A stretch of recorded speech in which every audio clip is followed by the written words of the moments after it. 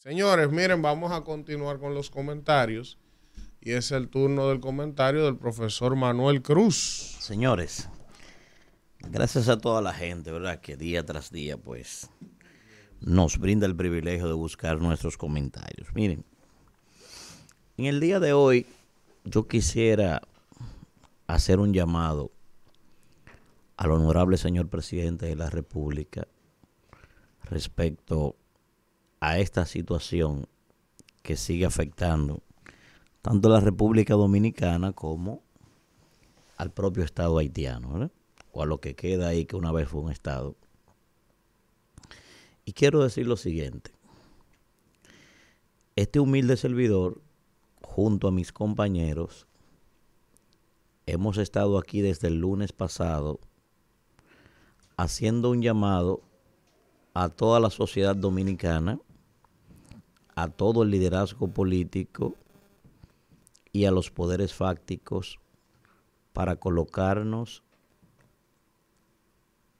en la coyuntura, para colocarnos a la altura de lo que está demandando el momento. Y hemos pedido, y queremos reiterarlo, que la sociedad en sentido general, incluyendo esos sectores que estamos mencionando, debe colocarse del lado del presidente de la República. Debe colocarse para apoyar al presidente en las medidas que se están tomando porque esto es un asunto de Estado, no es un asunto de gobierno y todos tenemos que estar conscientes de eso. Eso es por ese lado.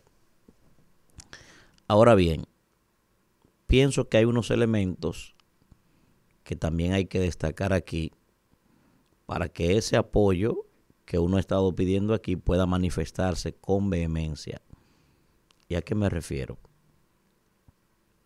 En el día de ayer, varios senadores de la República, incluyendo al senador Antonio Marte, que es un aliado del gobierno, la emprendieron contra el canciller de la República, el señor Roberto Álvarez, diciendo claramente, según el senador, que ese es el peor canciller que hemos tenido en el país. Y yo quiero decir lo siguiente, presidente, mire, yo pienso que con todo y que he pedido que a usted se le apoye, porque estoy convencido que es el rol que debemos jugar los dominicanos, llegó el momento, presidente, de separar el trigo de la cizaña. Yo pienso que deben haber mensajes contundentes en esta coyuntura para que esa abulia con la que se ha estado tratando este tema en su gestión, pues desaparezca. No se puede seguir procrastinando un tema fundamental para la República Dominicana y es un tema que hay que tratarlo con mucha prudencia, con mucha cautela, porque es de extrema complejidad. No puede tener emociones, no puede tener ningún tipo de,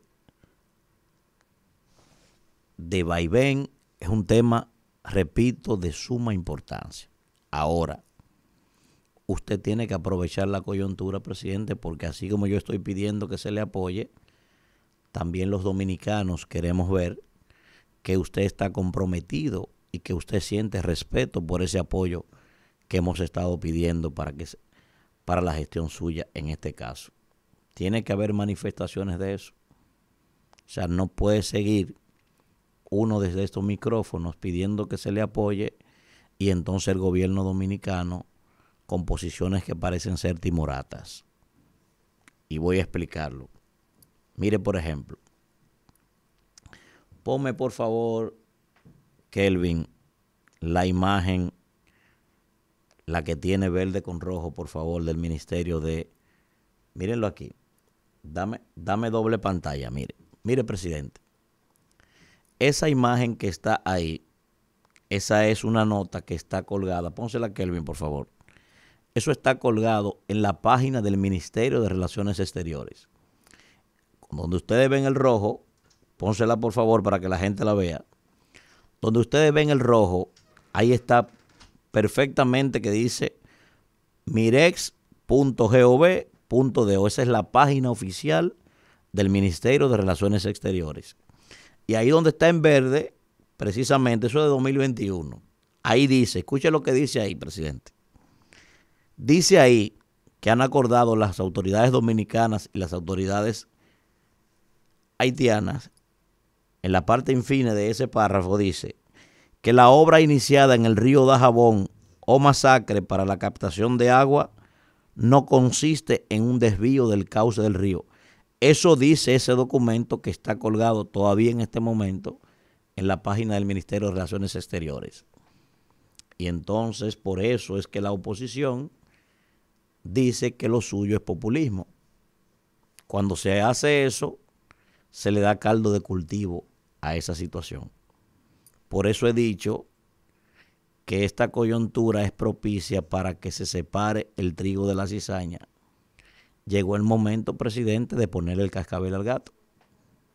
Ponme, por favor, el Twitter que está ahí, Kelvin, de 2021, del propio canciller de la República respecto a eso. Pónselo ahí para que la gente lo vea, por favor el propio canciller, En un Twitter de él que está todavía en su cuenta porque lo busqué esta mañana, ese Twitter, dice que Haití ha aclarado que esa obra es su primera obra hidráulica en la frontera, mientras que República Dominicana ha construido cuatro. Eso dice el Twitter del señor canciller de la República Dominicana. ¿Qué es lo que corresponde entonces, presidente? Mire, le apoyamos, presidente. Le estamos apoyando en esta oportunidad. Y siempre que sea un caso que tenga que ver con los intereses nacionales de la República Dominicana, siempre vamos a estar del lado del gobierno defendiendo a nuestro país. Ese es el papel que le corresponde a un dominicano. Ahora, presidente, llegó el momento de separar el trigo de la cizaña, les repito porque usted está jugando con fuego, presidente. No entender lo que significa la problemática haitiana para los dominicanos es tener una, ausencia profunda del sentido sociológico de los dominicanos. Y yo he visto que parece ser que en diferentes momentos este gobierno carece de eso. Escuche bien y ojalá lo entiendan y se lo está diciendo alguien que no tiene problema con eso. ¿eh? El dominicano es anti-haitiano por diferentes razones. No es por un tema de xenofobia, es por un tema histórico, es por un tema de soberanía, es por un tema de proteger su presupuesto, es por un tema de nacionalismo, es por diferentes razones. Pero ustedes tienen que entender desde el gobierno que nosotros no queremos haitianos aquí y punto, eso no hay que discutirlo. Nosotros en este país, escúchelo bien, presidente, y su gobierno completo, nosotros no queremos haitianos en este país. Es simple, eso no hay que discutirlo, ni hay que estar de acuerdo, ni nada. El pueblo dominicano no quiere haitianos ilegales en este país. Y ustedes tienen que entender que su papel como representantes es hacer coincidencia con eso y no hay que maltratarlos, no hay que violar sus derechos humanos, no hay que hacer nada de eso. Simplemente ellos en su lado y nosotros en el de nosotros. Simple así. Entonces, escuche esto. Porque vuelvo y le repito, le estamos apoyando, presidente, y le vamos a apoyar. Y reiteramos nuestro llamado para que la clase política dominicana, para que los poderes fácticos, todos se coloquen en este momento a apoyar a nuestro gobierno.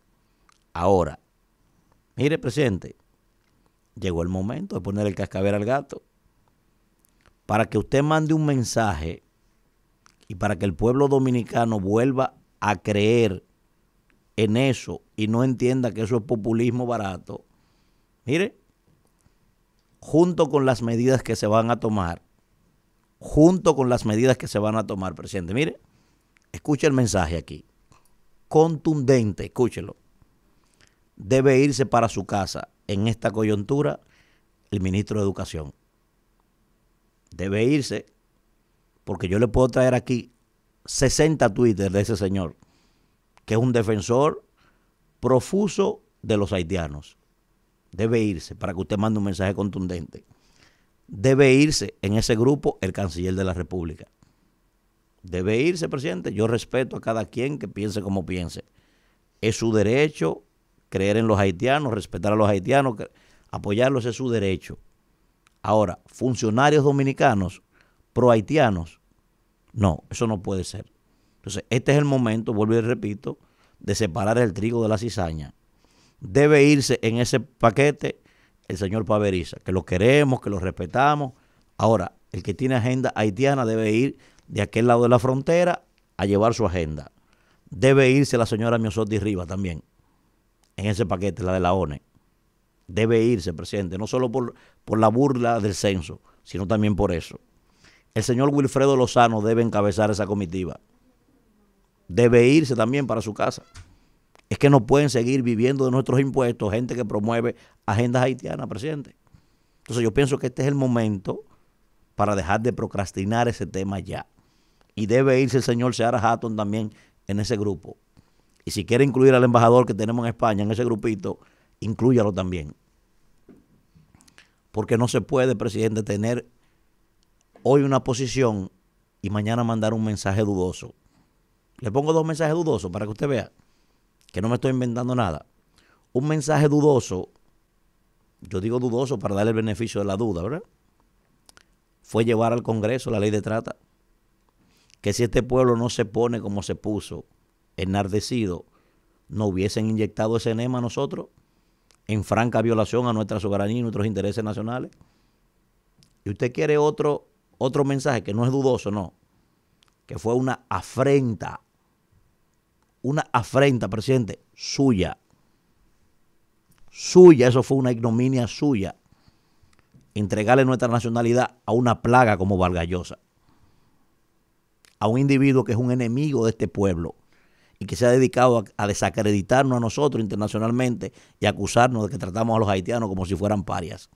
Eso fue una afrenta, mire, que yo la voy a recordar toda mi vida. Yo se lo he dicho a usted, toda mi vida la voy a recordar que usted convirtió en dominicano a una plaga como esa que es enemigo de nosotros. Entonces, este es el momento, presidente. Le apoyamos, le apreciamos y vamos a estar con usted, mire, hasta el último momento. Pero ese grupo de promotores de haitianos, si es verdad que usted quiere mandar un mensaje contundente, tiene que irse ya. Porque llegó el momento, presidente, repito, de separar el trigo de la cizaña, porque está jugando con fuego con ese tema y el fuego lo único que hace, mire, es quemar, presidente. Adelante, Isidro.